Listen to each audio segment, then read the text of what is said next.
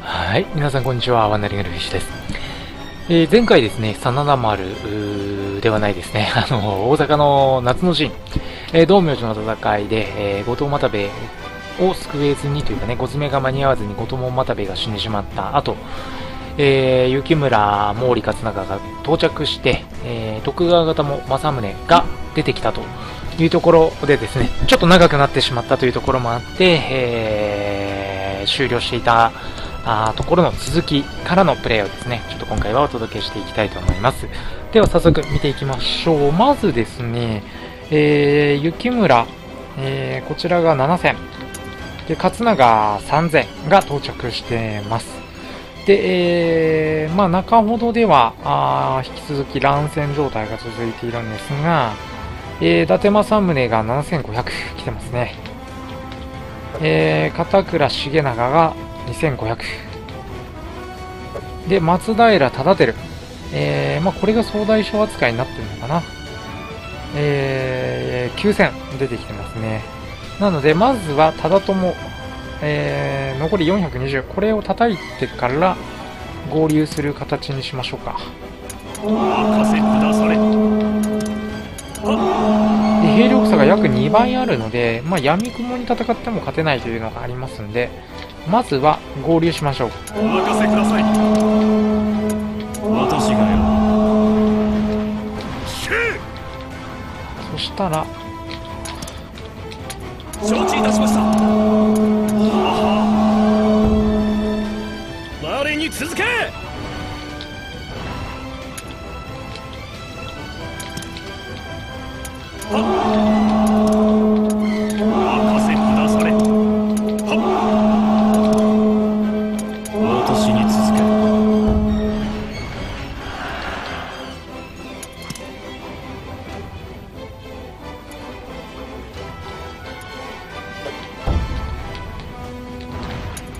奥義一戦は残しておきたいので、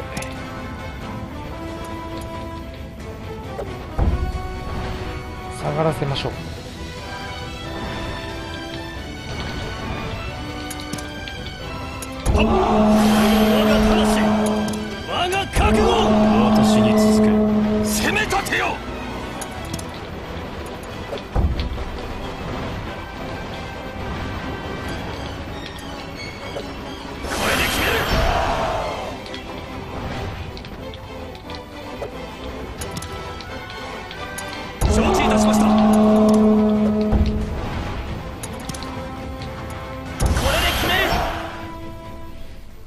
道明寺の戦場に現れた真田軍、これを迎え撃つは伊達軍の新生片倉重長。重長率いる伊達軍には騎馬隊鉄砲隊の他に鉄砲を持った騎馬武者後世に竜騎兵と呼ばれる。騎馬鉄砲隊があり機動力と射撃で敵陣を博覧することをその主な役目としていた。なるほど。あれが伊達の騎馬鉄砲隊か。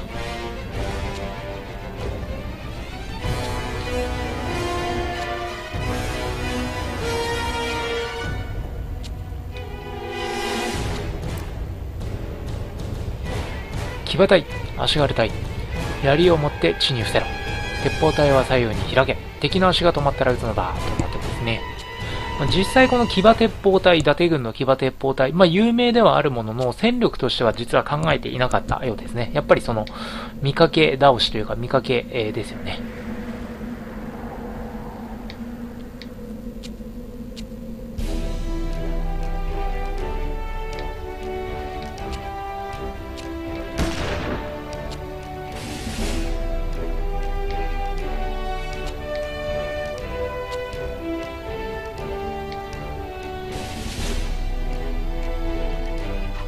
よし、これで片倉が消えたことによって戦力差が、えー、ちょっと埋まった形になるかな。忠輝9000に政宗。うーん、これ相手にしたくないね。混乱させたいな。お任せくださいかしこまりま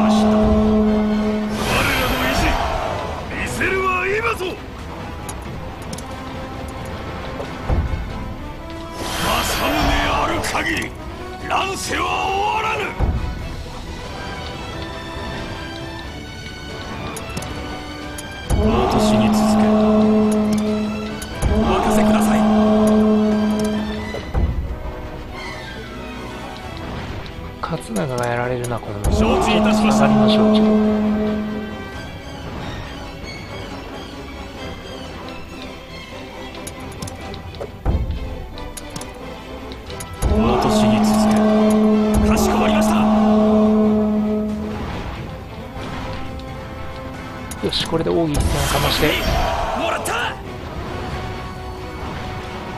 どうなるか。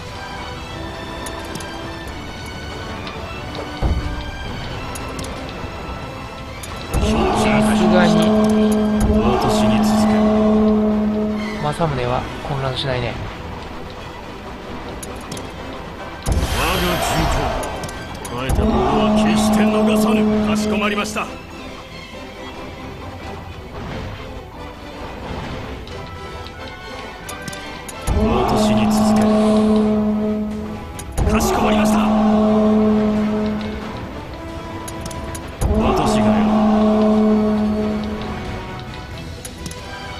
私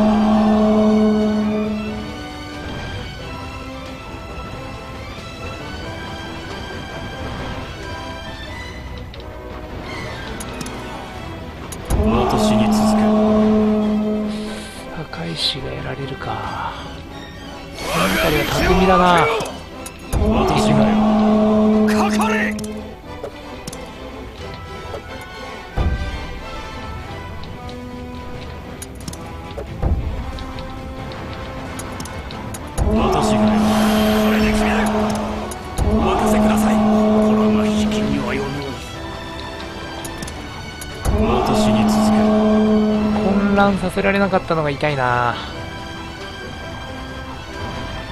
引け。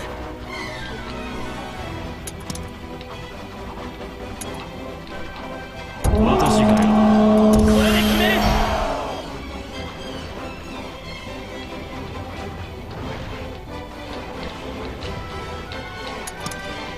る私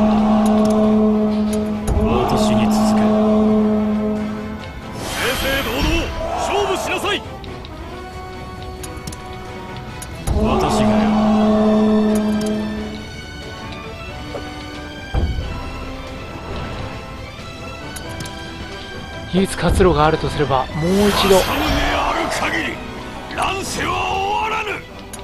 貯めるしかないね。承知いたしました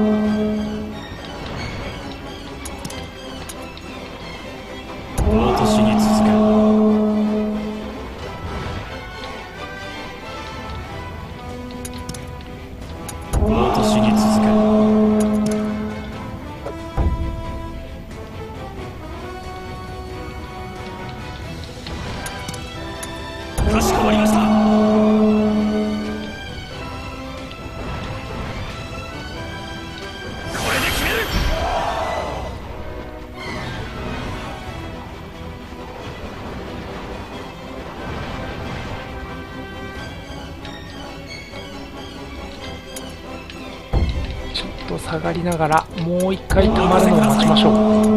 私に続け混乱を起こさないともう勝ち目がない。我が重厚加えた者は決して逃さぬ。これで決めるぞ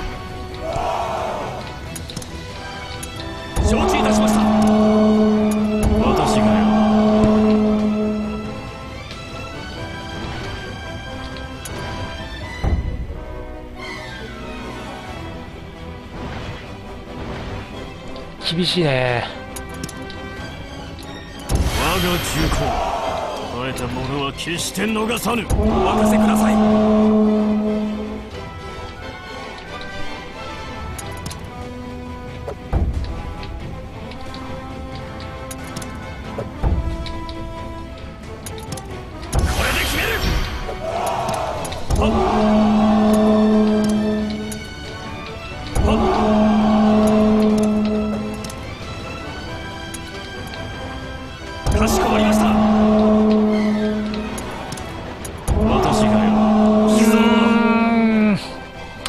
こまでが。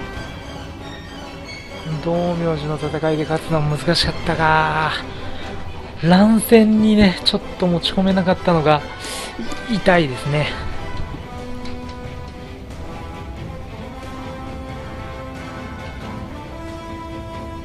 かかれ!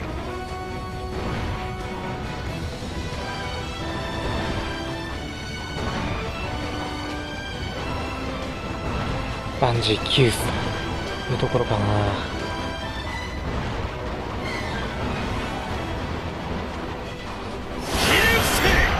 これが独眼流の戦だ。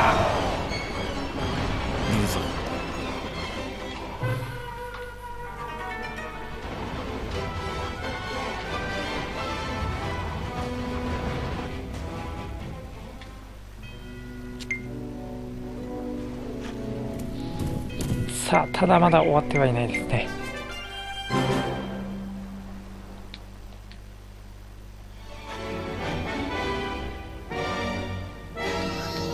ご命令を先月の収支です。報告いたします。さあ高谷城攻略に備えやということなのでえー、そうですね。まずはやっぱり、えー製材所を作って鉄だけでなく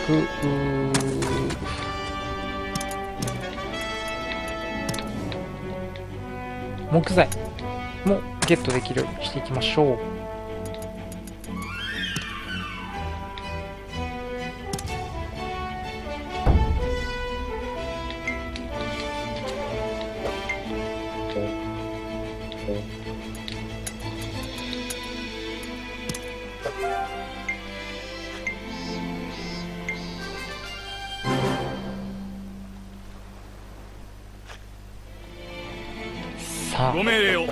の収支です。さあさあどうするか。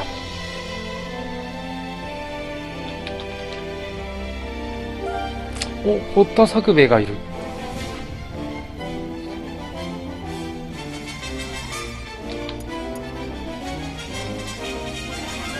堀田作兵衛は真田丸の中でも出てきてますよね。えー、信繁の最初の、えー奥さんになったあ春ちゃんだったかな。の、えー、お兄さんでしたよね、確か。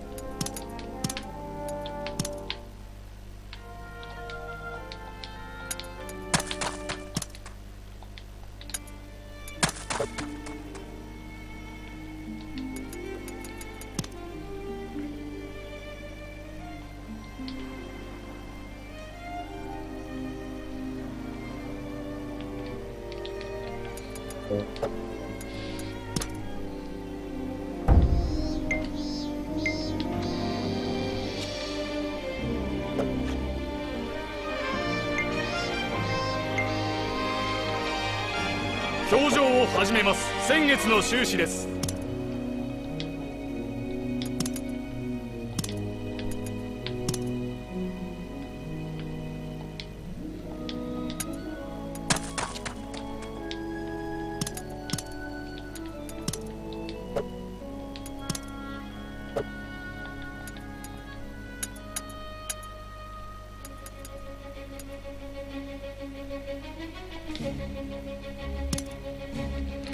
さあ、どうしようかな。そしたら、えーと、この辺りは往来を作るとして、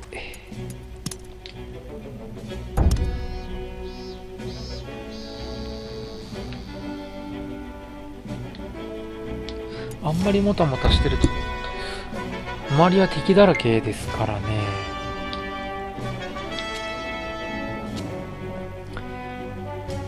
秀忠から二条城に寝返れと来てますが、まあ、これは拒否しましょう、当然ですが。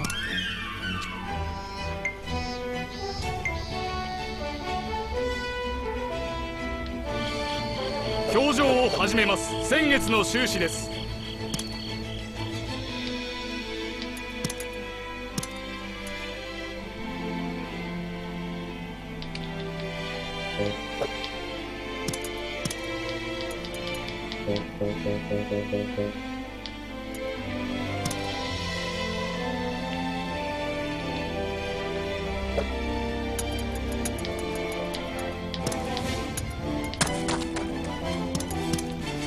今金不足か。では、えー、襲撃戦をいくつかこなしておきましょう。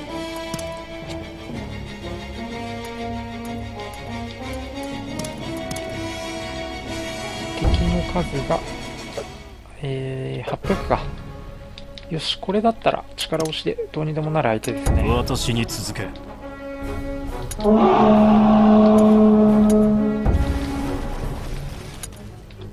何もしなくても勝てるでしょう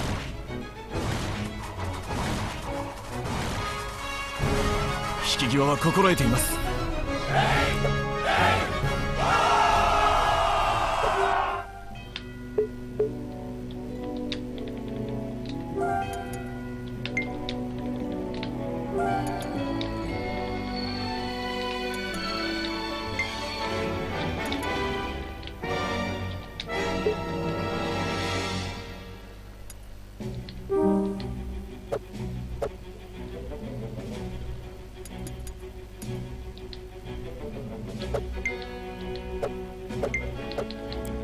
表情を始めます。先月の収支です。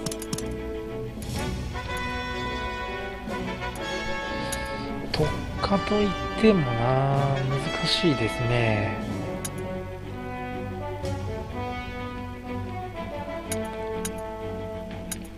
今は優先しなきゃいけないのは何を優先しなきゃいけないかというとこなんですが。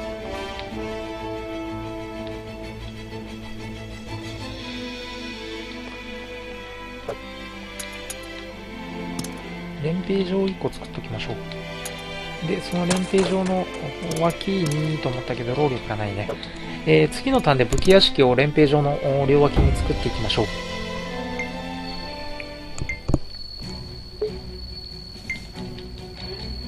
表情を始めます。先月の収支です。うん、労力不足か。では、攻略戦に入ります。700で出陣ですね。敵がまあ1000ぐらいまでだったらと思ったけど、1200か。しかも、2部隊。まあ、数は上だけど、武力はこちらの方が圧倒的に上だっていうのを頼みにするしかないかな。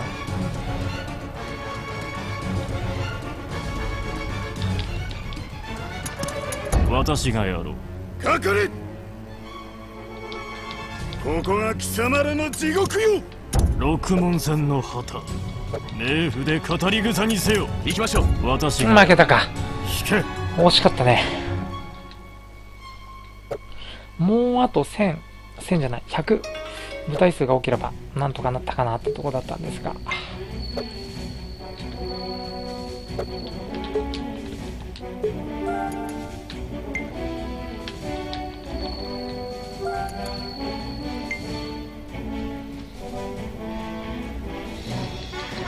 また兵力を回復しなきゃいけないんですね。まあちょっとしょうがないかな。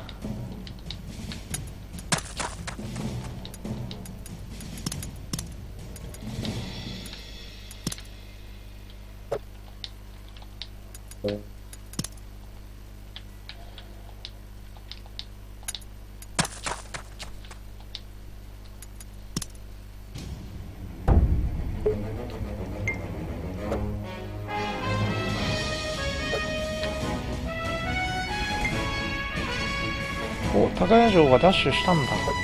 ちょっと全然見てなかったけど。城代昇格はしない。ご名誉先月の収支です。城代じゃあちょっとね、割に合わないというか、大変な思いをするだけですからね。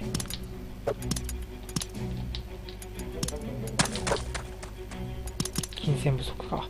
では、全国マップの方に移動しましょう。で、高谷城を取ったと。次は岸和田城か。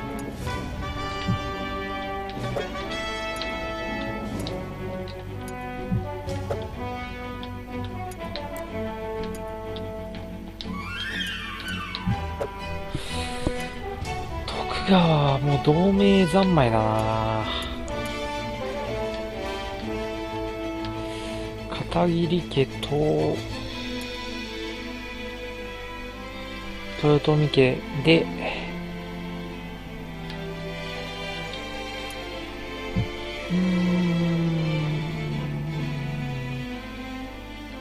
全部で4つの城を支配していることになりますね。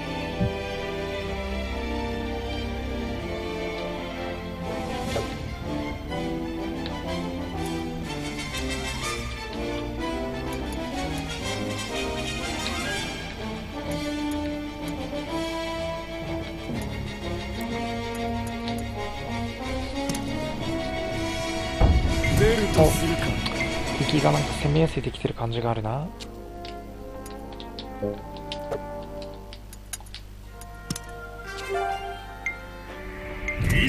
あー、すげえ戦いになってるけど、勝ち目あんのか、これ。表情を始めます先月の収支です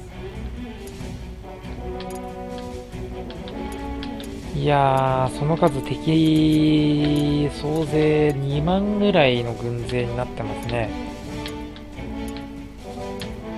これはなんかこのターンで終わっちゃうんじゃないかっていう心配が出てくるな。大丈夫か？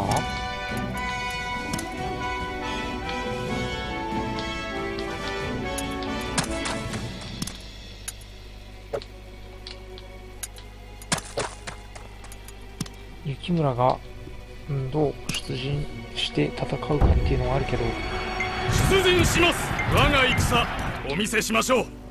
あっという間に奪われたな、城。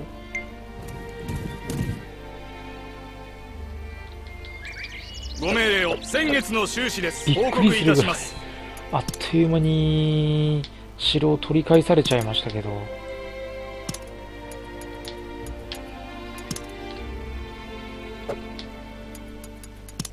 これでもう建てられるところは何にもなくなったね。あとはじゃあ拡張できるようになるのを待ちますか。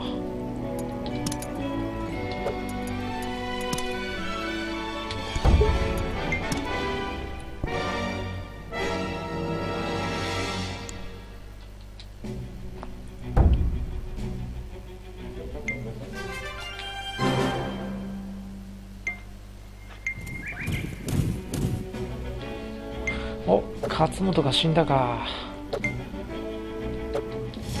ご命令を先月の収支です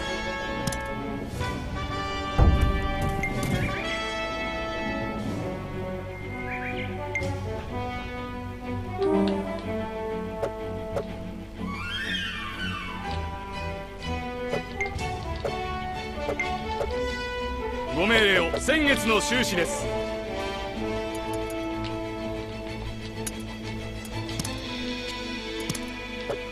ここは出陣して武功を稼いでおきましょう。まあ、何もしなくても勝てる相手私に続続きなさい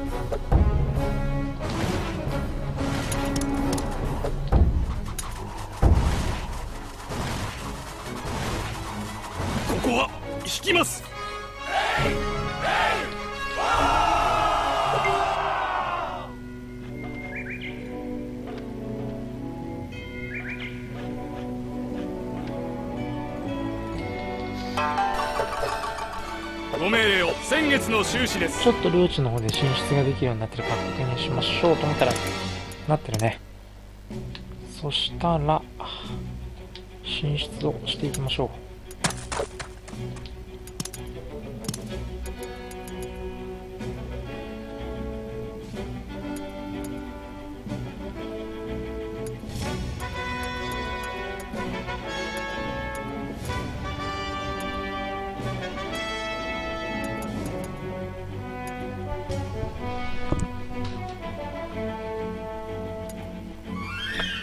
公家町を作っていきたいんだけど公家町は夕食個実をやんなきゃいけないんだな。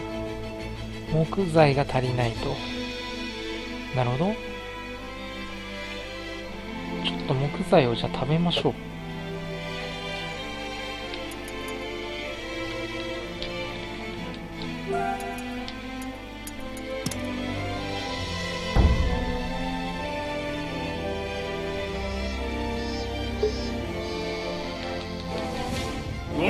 先月の収支です。報告いたします。もう一ターン経たないと木材が入ってこないかな。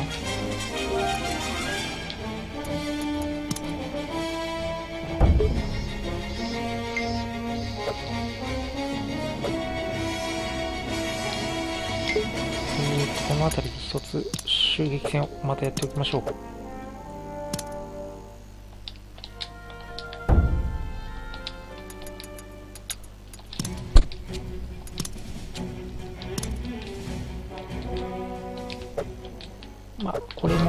力押しで終わりますね。私に続け。行きましょう。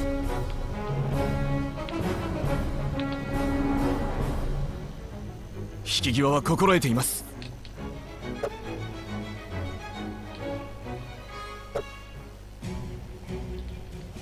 表情を始めます。先月の収支です。いるはずだ。なってる。でこれによって公家町が作れるようになるはずですね。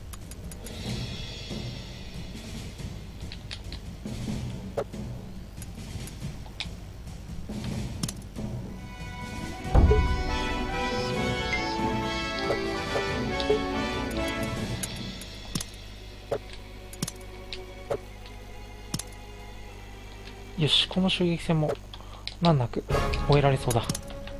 私に続け。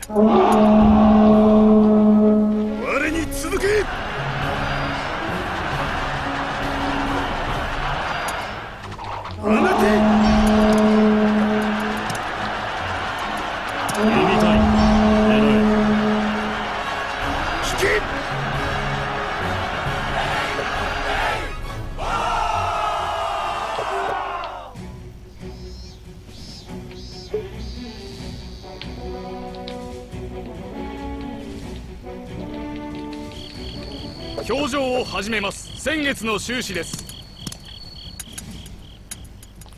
公屋敷が今今は建てられないかな。えー、それもまだ終わってないのでここは待ちましょう。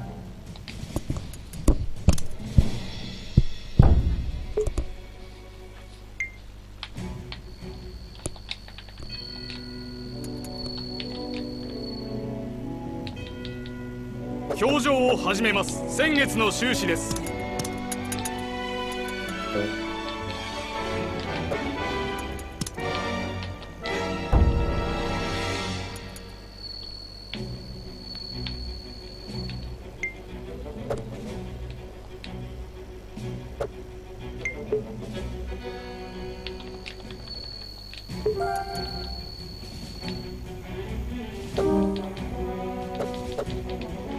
ご命令を。先月の収支です。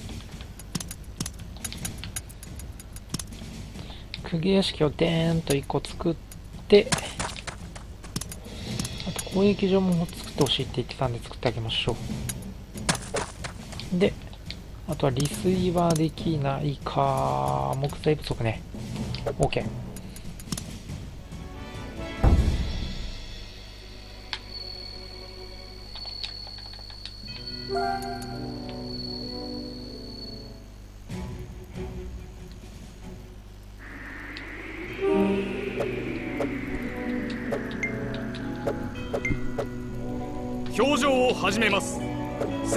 収支です。報告いたします。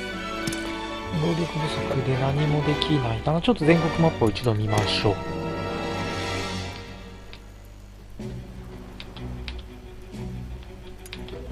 毛利勝長の部隊が出ていて今どこに向かおうとしてるんだ？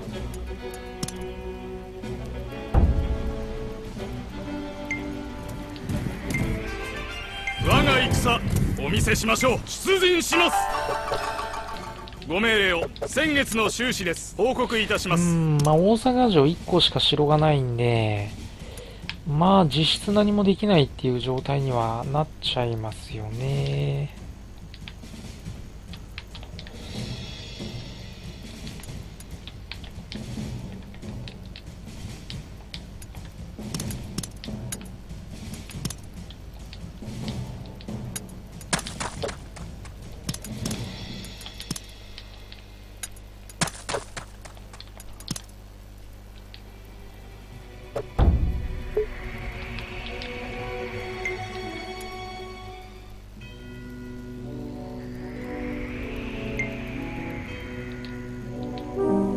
よしこれで全ての達成ができたので達成報告ご命令を先月の収支です。報告いたします。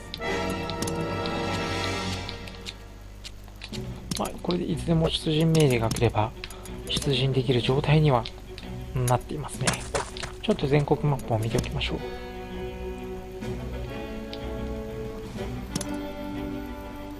出陣します。出陣せぬぞ。よし出陣しましょう。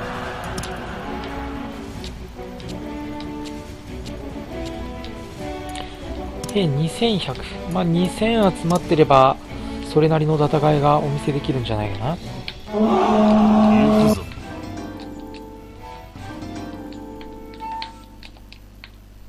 敵の数は312だもんね。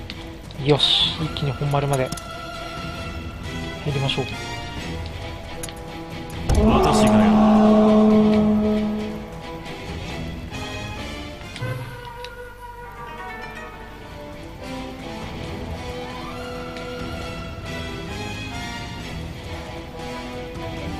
きなさい。こ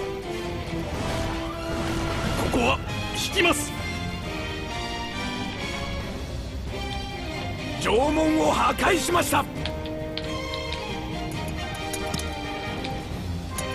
私に続けかかれ。決着つけようでは我らが戦。とくとご覧なれ。ないか天下に示す。貴様らの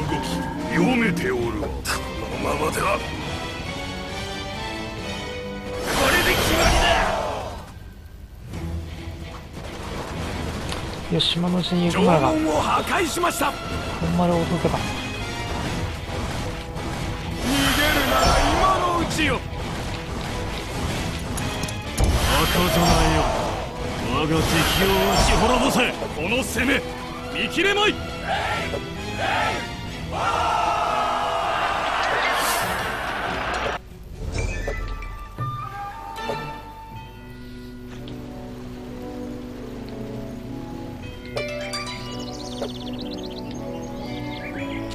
上手になりましょう。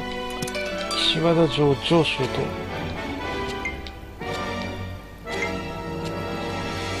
岸和田をね守り抜いていきましょうか。